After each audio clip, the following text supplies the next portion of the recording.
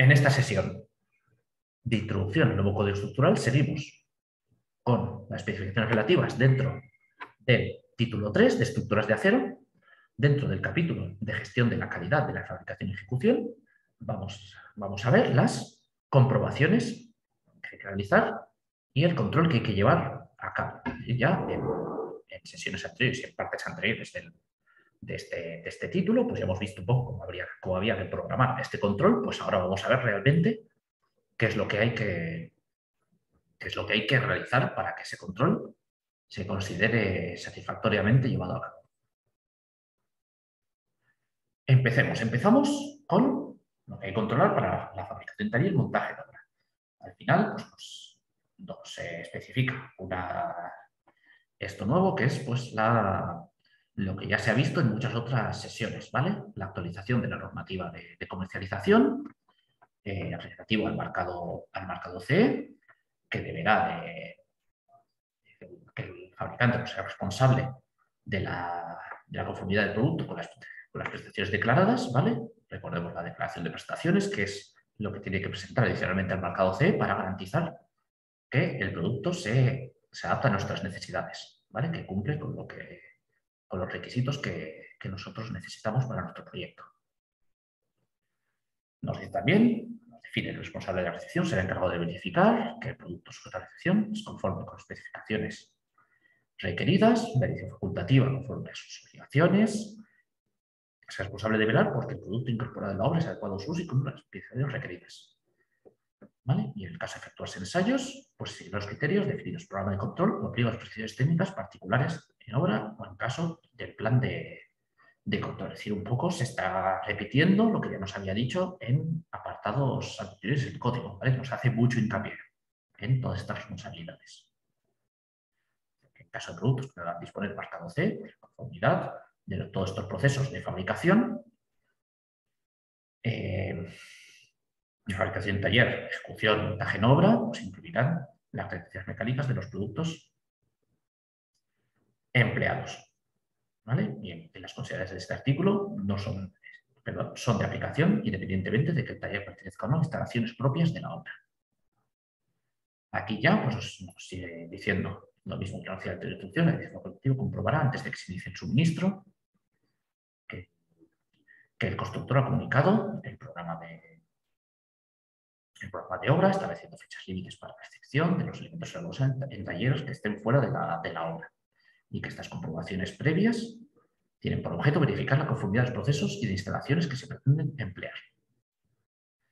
Seguimos, además de documentación general, pues eh, el suministrador, el, constructor, cuando corresponda, debe presentar la facultativa, el documento que demuestre que el proceso de montaje en taller del evento se encuentra en posesión de un distintivo de calidad, o cuando corresponda, el documento que demuestre que los productos de acero empleado pues tienen un distintivo de calidad, antes conocido, con respecto a lo que nos decía en el, título 1. aquí nos, incluye más especificaciones. Dice, además de la documentación general a la que se referencia, aplicable a los, en título 1, aplicable a los, elementos que se pretende suministrar obra, el suministrador deberá presentar la siguiente documentación. En caso de que se, vayan a emplear procesos de soldadura, certificados de cualificación eh, de, los, asociados a los, distintos soldadores, ¿vale? a los operadores de sondeo, especificaciones de los procedimientos de, de soldeo, certificados de cualificación para los procedimientos de, soldadura, ¿vale? que además nos los distinguen según la clase de ejecución, tres o cuatro, que eran las, más, las que más riesgo entrañaban, según se había visto en la, sesión dedicada a la, ejecución, o para cuando teníamos clase de ejecución 2, pues con otras normas. Seguimos. En caso de la estructura de acero deba de tener un marcado, un marcado C, pues el constructor deberá presentar la documentación relativa al marcado C. Y, además, documentación relativa al plan de control de producción en fábrica, de acuerdo con esa norma UNE, documentación relativa al plan de control de calidad de soldaduras y declaración de prestaciones de la estructura. Recordemos, siempre marcado C, acompañado de declaración de prestaciones, sea el producto que sea. Seguimos con la comprobación previa al suministro. La dirección facultativa deberá verificar que los procedimientos de fabricación, incluyendo soldadura, previsto para la fabricación y montaje de la estructura que son suficientes para cumplir con todos los requisitos establecidos en el pliego de prescripciones técnicas particulares del proyecto y con lo indicado en el capítulo, capítulo relevante de este código. antes del inicio del proceso de fabricación en taller, el constructor deberá presentar a la dirección facultativa para su aceptación los planos de taller para la fabricación de la estructura metálica, que deberán cumplir con todos los requisitos establecidos en el pliego de prescripciones técnicas particulares del proyecto y con lo definido en el apartado 91.2. También esos planos de taller irán aprobados y firmados por un técnico del taller metálico responsable de su elaboración, así como representante del constructor que se responsabilizará por parte de este del cumplimiento de todas las exigencias requeridas, conformidad tanto con el proyecto como con el código estructural. Seguimos con más novedades. La dirección facultativa deberá dar su aceptación a los planos de taller previamente al inicio de la fabricación, tras verificar que cualquier modificación sea justificado técnicamente y que se demuestra que no supone ninguna merma en las condiciones de seguridad, resistencia, durabilidad o estética de la estructura. las posteriores tareas de control de la ejecución de la estructura metálica serán realizadas según la definición de estructura en los planos de taller. Respecto a la comprobación de las instalaciones, nos dice que la facultativa valorará la conveniencia de efectuar eh, una visita de inspección al taller de, fabricación para comprobar que está, todo en, que está todo en orden. Nos dice que esta inspección de taller incluirá la evaluación de que las instalaciones son idóneas en función de materiales más empleados, procedimientos de soldadura, instalaciones, utillajes y herramientas, todo lo que la fabricación. La verificación de los equipos, ¿vale? como los certificados de calibración de cualquier instrumento de control, como termómetros, pinzas perimétricas, etc y valorar la capacidad del taller para cumplir con las tolerancias establecidas en el anejo 16 de este código que sean de aplicación en la fabricación y montaje de la propia estructura.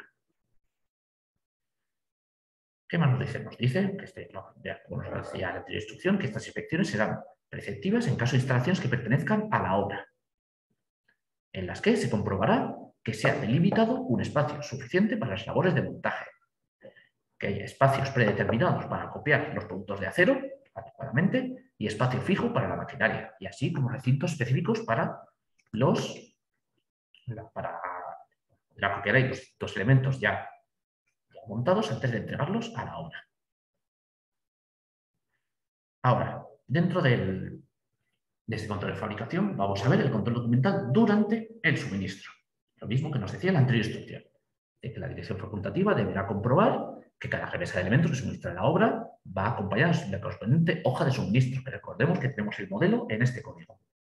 Asimismo, se deberá comprobar la coherencia entre los elementos suministrados y las especificaciones, los, de cada documentación de productos de acero, de la fábrica del constructor, verificando que hay una adecuada trazabilidad. Recordemos la trazabilidad, la importancia que le da este código a poder, a poder un poco hacer el seguimiento de, a dónde van a parar cada producto, de cara a, asegurar la, calidad. En caso de detectarse algún problema de trazabilidad, se procederá al rechazo de los elementos afectados por el mismo. Para elementos elaborados en talleres propios de la obra, se comprobará que el constructor mantiene un registro de fabricación en el que se recoge para cada partida de elementos fabricados la misma información que las hojas de suministro a las que hace referencia este apartado. También la dirección facultativa aceptará la documentación de la remesa de elementos tras comprobar que es conforme con lo especificado en el proyecto. Seguimos. Seguimos con la comprobación experimental durante el, suministro, control de procedimientos de corte térmico y perforación. Como os decía antes, en el caso de empleo de procedimientos de corte térmico, previamente inicio de actividad, para cada tipo de evento a cortar y para cada se fabricarán al menos cuatro probetas que deberán ser evaluadas por el control de constructor y por el control de contraste de la dirección facultativa para evaluar la actitud del procedimiento. Dice las cuatro probetas para lo que tiene que corresponder y que tengan una dimensión que permitan cortes de al menos 200 milímetros de longitud. Y también nos especifica adicionalmente que la calidad de superficie de cada corte será acorde a lo establecido en esta norma UNI 90, correspondiente a la clase de ejecución de estructura, y la de los cortes curvados será similar a la de los rectos si los resultados de la inspección de los bordes cortados fuesen no conformes, la dirección facultativa rechazará el proceso. Debiendo el constructor modificar el, mismo definiendo un nuevo, un nuevo procedimiento e iniciar de nuevo el proceso de comprobación. También como novedad nos dice que si el fabricante hubiera realizado previamente ensayos para la realización de su procedimiento de corte térmico, comparte su plan de control de producción y cuente con la evaluación documental positiva de entidad de control independiente, la dirección facultativa podrá decidir no realizar estos ensayos de nuevo, siempre que estos que haya realizado el fabricante cubran los materiales y espesores que se prevé utilizar en nuestra estructura. Siempre que el fabricante acredite que este procedimiento de corte no ha variado desde que se hicieron los ensayos y que se realiza un mantenimiento adecuado de la maquinaria. Seguimos. En caso de procedimientos de corte perforación que puedan producir incrementos locales de dureza del material, deberá controlarse esta en los bordes. Se fabricarán cuatro probetas de material no susceptible al endurecimiento de todos los que vayan a ser utilizados. En cada una de las cuatro probetas se medirán las durezas en cuatro puntos elegidos y entre aquellos en los que de, todos aquellos en los que supongo un mayor incremento. Se realizará respecto a esa norma, a esa norma 1.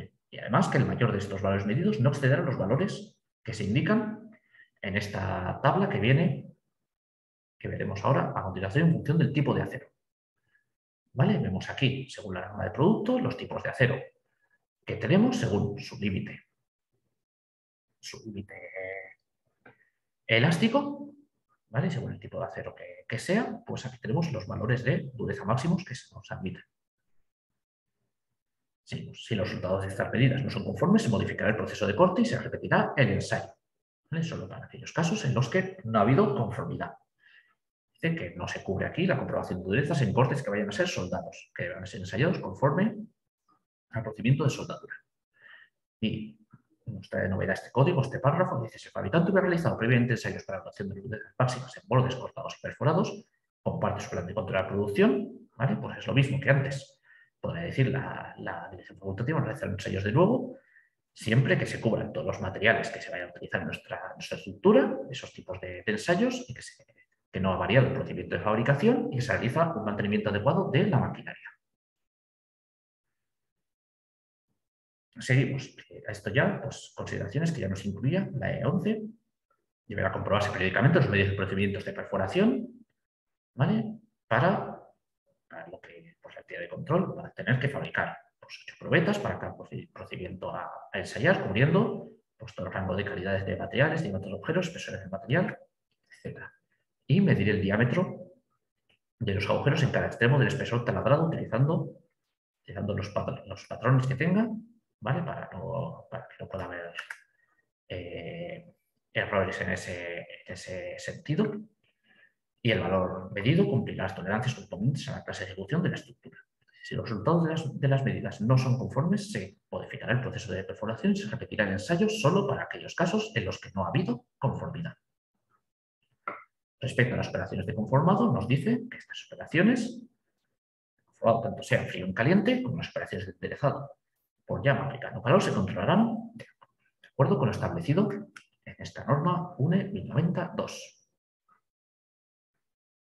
Respecto al control dimensional de los elementos, pues nos repite lo que ya nos decía en la anterior instrucción E11. Se deberá comprobar que los elementos elaborados en el taller presentan las dimensiones reflejadas en los planos de taller considerando las tolerancias indicadas en el pliego de prescripciones técnicas particulares del proyecto.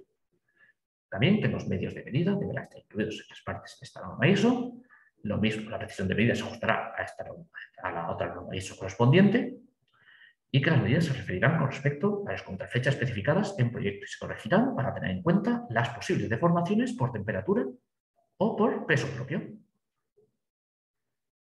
Después, seguimos con el control dimensional. El taller dispondrá de los elementos necesarios para la correcta ejecución de las medidas. Además, que en el caso de aparición de no conformidades, se corregirán mediante alguno de los medios especificados en este código, si fuera posible.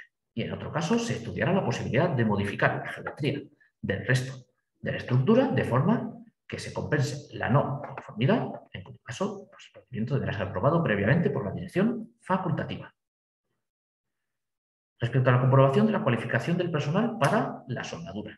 Muy importante, vemos todas las justificaciones para las, para las soldaduras pues hay que, nos repite lo mismo que la anterior instrucción, hay que comprobar que los soldadores están en posición de la cualificación adecuada conforme a lo que se ha establecido en el apartado correspondiente en capítulos anteriores y que esta cualificación es vigente. La dirección facultativa también puede establecer cualquier comprobación adicional sobre la cualificación de soldadores, independientemente del lugar donde se desarrolle su actividad. Seguimos con la cualificación de, personal para la soldadura. Dice el taller mantendrá días con registro de identificación de sus soldadores en los que debe figurar el número de ficha, copia de la homologación y marca personal. Esta documentación estará en todo momento a disposición de la dirección facultativa y de la entidad de control de calidad correspondiente. Cada soldador identificará su propio trabajo con marcas personales que no serán transferibles. Y luego, toda soldadura ejecutada por un soldador no cualificado será rechazada, procediéndose a su levantamiento. En caso de que esto pudiese producir efectos perniciosos, a juicio de la dirección facultativa, el conjunto soldado será rechazado y repuesto por el constructor de estructura de acero.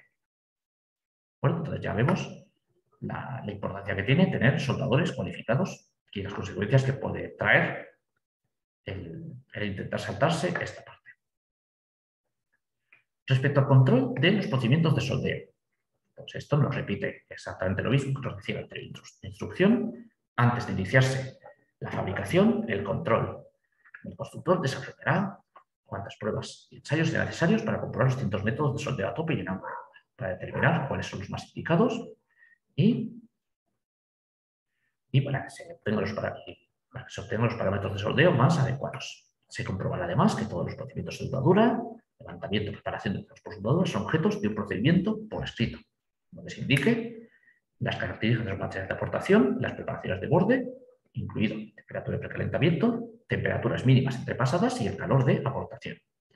Más, pues el sondeo debe realizarse mediante procedimientos cualificados conforme a lo que se indica en el, apartado correspondiente del capítulo de, de, materiales, lo que se indica en el apartado de ejecución. La entidad de control de la dirección facultativa deberá certificar documentalmente que con los procedimientos cualificados de soldeo quedan cubiertas todas las uniones soldadas a efectuar tanto en taller como en obra en nuestra estructura. Y habrá que verificar que efectivamente los soldadores sueldan mediante esos procedimientos, es decir, que se cumple lo que se especifica en el proyecto. ¿alguna, alguna respecto a la comprobación de la ejecución de las soldaduras? Nos dice que con anterioridad a la realización de la soldadura se procederá a realizar una inspección visual de las piezas a unir, verificando su correcto ajuste y las soldaduras. Punteo conforme a esta norma, que si está subrayado aquí, pues si no recuerdo mal, es porque ha cambiado durante pues, estos 10 años que llevaba en vigor la E11, pues ha cambiado esta norma que te, que te, exige para este tipo de soldaduras. Luego, en el caso de secciones huecas, pues la inspección se centrará en partes centrales del talón y los flancos, o las cuatro esquinas en caso de secciones cuadradas o rectangulares. Y también después de soldeo se debe verificar también todas las soldaduras mediante inspección visual conforme esta norma, esta norma 1 17637. También seguimos con la de las soldaduras, que nos dice que esta inspección visual pues, será realizada por un inspector de soldadura nivel 2, conforme a esa norma 14618, que es lo que nos decía la E11, o por otra persona certificada como nivel 2 para inspección visual respecto a esa norma 19712 y autorizada previamente por la dirección facultativa. En caso de soldaduras en obras en las que sea aplicación la clase de ejecución 2, la inspección visual la podría realizar el propio soldador cualificado bajo la supervisión de un inspector de soldadura de nivel 2, previa aprobación de la dirección facultativa. Más que en todo caso, la dirección facultativa podrá exigir la certificación de inspector de soldadura. De todos los controles que se efectúen, se registrará su correspondiente protocolo de inspección, donde además de la descripción se adjuntarán fichas de control de soldadura, incluirá el resultado del, del ensayo y la posición exacta de dicho control. Se controlarán todos los cordones y cualquier ensayo se realizará una vez transcurrido el tiempo de retención o cadencia que establezca la norma UNE 1090, por de tipo de acero, espesor de chapas, tamaño de soldadura, aportación de calor, riesgos de empleamiento, etc. Las soldaduras que no, se, que no sean, que no vayan a ser eh, accesibles en el proceso de fabricación, pues porque se van ensamblando elementos, deben inspeccionarse antes de que pasen a ser accesibles. No pueden quedarse sin inspeccionar con esta excusa. Luego, cuando un elemento o una zona del mismo haya sido deformado para corregir desviaciones geométricas resultantes de fabricación, Todas las soldaduras situadas en las zonas afectadas serán inspeccionadas y, si procediera, ensayadas como si lo hubieran sido con anterioridad. Seguimos, comprobación de ejecución de soldaduras y seguimos con lo prácticamente lo mismo que nos decía la anteinstrucción EA11. El control de las soldaduras incluirá una serie de comprobaciones que serán, como mínimo, inspección visual conforme a la norma, la norma 1.17637 para longitud del 100% de los cordones, comprobaciones adicionales mediante ensayos no destructivos, cuya frecuencia, en función de la ejecución, será definida en el plan de control incluido en el pliego de prescripciones técnicas particulares del proyecto. El anejo 17 incluye de forma orientativa las frecuencias de ensayos no destructivos para diferentes tipos de soldaduras más habituales. Además, se realizarán ensayos adicionales en los puntos donde se sospeche que puedan existir defectos. ¿Vale? Como novedad. si el control se deriva según la conformidad, se rechazará el lote y se incrementará la frecuencia de ensayos. Sí, aprobación de la ejecución de soldaduras. Para las cinco primeras soldaduras realizadas con nuevo procedimiento de sorteo cualificado, en la obra se realizarán los, correspondientes ensayos de producción, que, deberán cumplir los requisitos siguientes. Las soldaduras cumplirán con el nivel de calidad B. El porcentaje comercial será el doble de los que nos indique el anejo 17, si pasamos de 100%, obviamente, y la longitud mínima inspeccional será de 900 milímetros. También aquí que en el caso de pernos conectadores soldados solicitados esfuerzo cortante para estructuras mixtas de hormigón, la inspección y ensayo se realizará de acuerdo con esa norma 1 14555 y que además de esta la inspección visual que había para, para soldados de unión del 100% de, de todos los pernos, se realizarán ensayos de doblado de como mínimo el 3% del total de pernos para estructuras de clase de ejecución 2 y del 5% del total de pernos para estructuras de clase de ejecución 3 y 4. La inspección visual de los cordones se desarrollará cuando estén completadas todas las soldaduras de un área de inspección y previamente la realización de cualquier ensayo. Y que incluirá pues, verificar la existencia y situación de todos los cordones, inspeccionar los cordones respecto a la norma ISO 17637 y verificar las zonas de cebado y de cierre. Y aquí tenemos las frecuencias que nos, que nos dice según las clases de ejecución, ya sea 2 o 4 y 3, eh, para comprobar la ejecución de las, de las soldaduras, ¿vale? tanto en obra o en, taller, y nos dice según cómo están solicitados los distintos cordones. Aquí sí que me gustaría hacer una, una aclaración, que vemos aquí que nos dice cordones a tope sometidos a tensión de tracción. Nos pone entre paréntesis K mayor o igual de 0,8. ¿vale? Y luego nos pone 0,3, eh, la K entre 0,3 y 0,8 y la K menor de 0,3. Esta K, eh, pues bueno, realmente lo denomina un factor de utilización y viene definido de, o sea, y, no, y realmente no especifica ni el código, como tampoco lo especificaba la anterior instrucción EA11, de cómo, de cómo corresponde. ¿Vale? Que al final, esto, pues hay algunas cosas similares, como el grado de utilización, que es al final, pues la solicitación que tenemos sobre ese cordón partido por la resistencia que tendría ese cordón. ¿Vale? Pero hay otra, otra, también algunos profesionales también han, considerado que es dentro de la, si no recuerdo mal, sería de la norma, de la norma UNE 11, la norma UNE 199311, cuando se establecen las secciones hay un parámetro que también aquí se, corresponde. ¿vale? en ese caso, ese parámetro varía de según si estamos en, si estamos en flexión, si estamos en tracción, si estamos en, si estamos en compresión. ¿Vale? Esa sería la única duda, pero ya vemos que enseguida vamos a tener una utilización razonable con cociente de utilización razonable, pues nos sube el nivel de control bastante, bastante alto. Y sobre todo si estamos en, si estamos en, en obra, pues nos va a subir la, la, comprobación al doble, o en algunos casos a más del doble. Seguimos. La inspección de la forma y superficie de los cordones de los nudos en secciones huecas prestará atención especial a los siguientes aspectos En el caso de secciones circulares, a las partes centrales del talón y de los flancos. En el caso de secciones cuadradas o rectangulares, a las cuatro esquinas. Y también que la detectación de los cordones en la inspección visual se efectuará según lo que establece el apartado 94.6. Seguimos, ya aún seguimos con la parte de, soldaduras, ¿vale? Tenemos aquí que se realizarán los siguientes ensayos no destructivos, según la norma 17635 y conforme a las especificaciones de cada método de ensayo, ya sean líquidos penetrantes, partículas magnéticas, ultrasonidos y radiografías. Pues aquí tenemos las normas a aplicar y los criterios de aceptación. Nos dice también que si la imperfección que nos encontremos en nuestras comprobaciones se categoriza como no admisible, será necesaria su reparación según procedimiento establecido. De que esta reparación no afectará únicamente a esta imperfección no admisible que se ha detectado, sino a todas las imperfecciones admisibles que se hayan detectado anteriormente en, ese mismo tipo de soldadura y que además incrementará, en ese caso, el nivel de control para soldaduras realizadas por ese soldador en el porcentaje adicional que se indica en el plan de control o según se establezca la dirección facultativa. Entonces, aquí lo que nos está diciendo es que si detectamos un fallo de un soldador, pues habrá que tener cuidado y, eh, vigilarlo más, ¿vale? Para, prevenir la... para poder asegurar la, calidad de todo, lo que, de todo el trabajo que esté, que esté haciendo.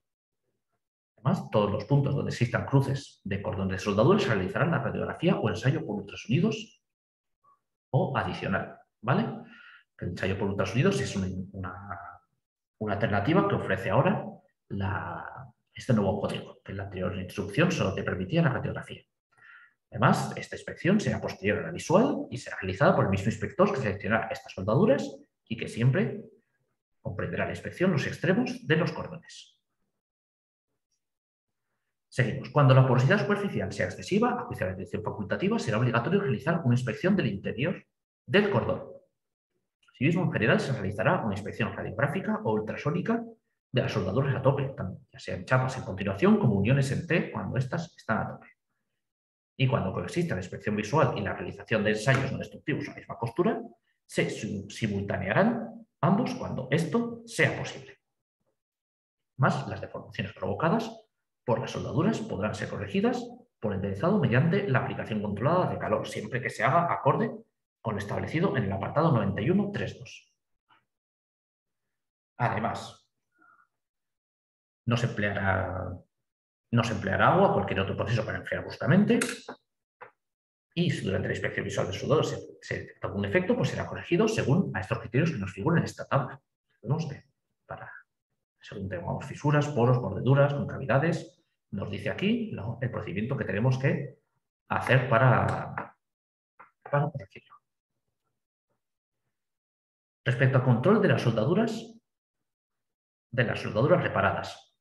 Dice que las reparaciones de soldadura deben realizarse conforme a procedimientos cualificados, no podría ser de, otra forma, y que los cordones reparados se inspeccionarán, y ensayarán de nuevo como si fueran nuevos.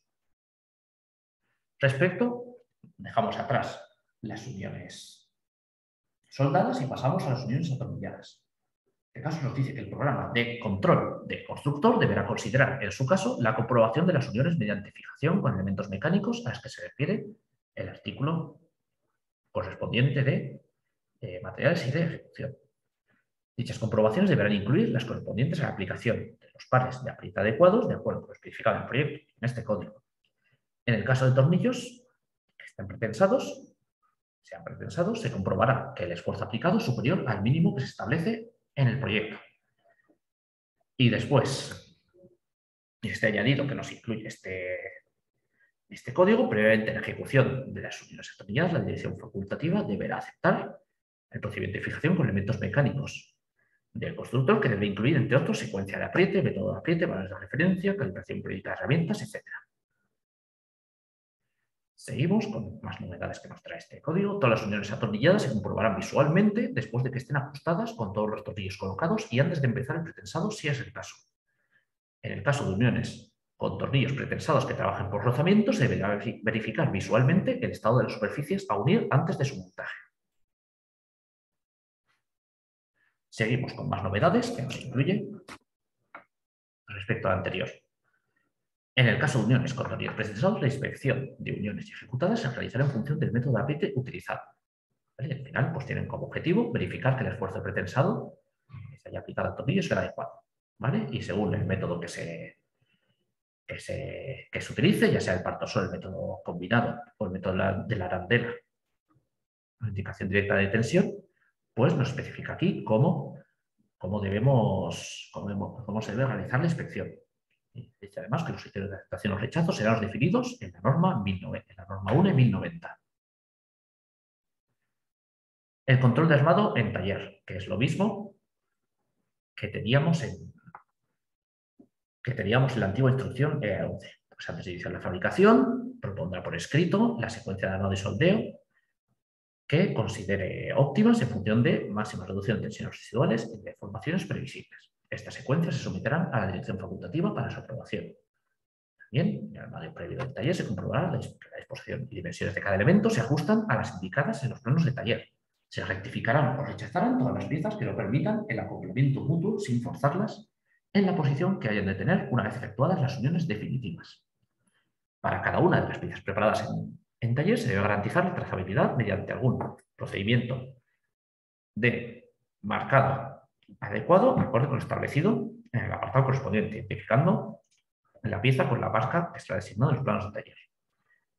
Además, hay que garantizar la trazabilidad. Nos lo sigue repitiendo una y otra vez y garantizar esta trazabilidad, esta posibilidad de seguimiento de cada uno de los elementos terminados en taller, identificando además su posición relativa en el conjunto de la obra. La facultativa efectuará las visitas e inspecciones que considere oportunas para comprobar el proceso de montaje. El control del armado en taller. El constructor realizará el control del armado en taller realizando las inspecciones que establezca el programa de, control y el programa de puntos de inspección, que al menos serán las siguientes identificar los elementos, situar los ejes de, simetría, situar la zona de sujeción a, elementos, situación de la zona de sujeción elementos contiguos, paralelismo de alas, platabandas, perpendicularidad de las y almas, abollamientos, lentitud, planidad de, las y almas y contraflechas. Todo ello para el control del armado en el taller. Control del montaje en blanco. Recordemos, novedad de... Nos ha hecho hincapié este código en este en esta actividad. El correcto, hay que verificar el correcto ajuste entre los diferentes tramos, ejecutados en, taller a través de un montaje en blanco, acorde a lo que establece en el apartado correspondiente de la, de la parte de ejecución. Ya pasamos al control del montaje en obra. Pasamos del control de realización de taller al montaje en obra. Comprobaciones previas.